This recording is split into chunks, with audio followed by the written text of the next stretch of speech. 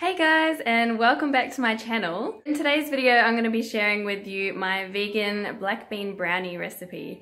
And I know a lot of you guys have been asking for this recipe for quite a while now, so it is finally here and I'm sorry I had to make you guys wait for so long, but you guys have been so patient, so here it finally is. So to start off with, these are all the ingredients that you'll need.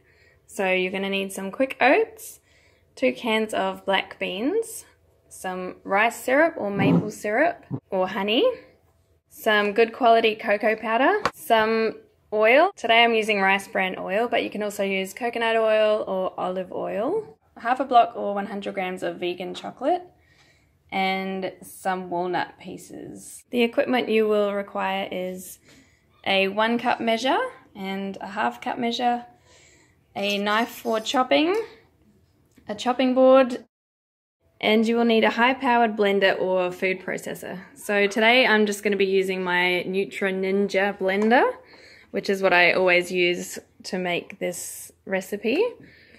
Um, it does work well in a food processor as well. So I would only recommend using a blender if you do have a really good high powered one because you want it to blend up the oats and the black beans to make a fine puree. So I'm just going to get started.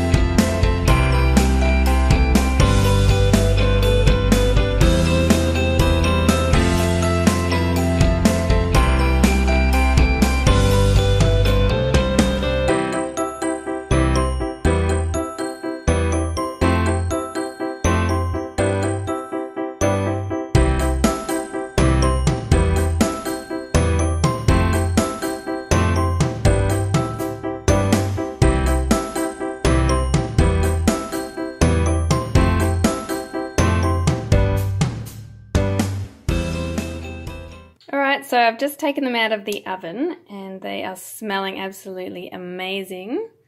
So this is what they look like and they're really hot so it's important that you leave them to sit for at least 10 minutes just so that they don't break apart when you cut them up. I know it's hard to wait but it is a really important step so I'm just going to let them cool down before I slice them up into squares and then I'm actually going to package these up and take them to my local market this afternoon.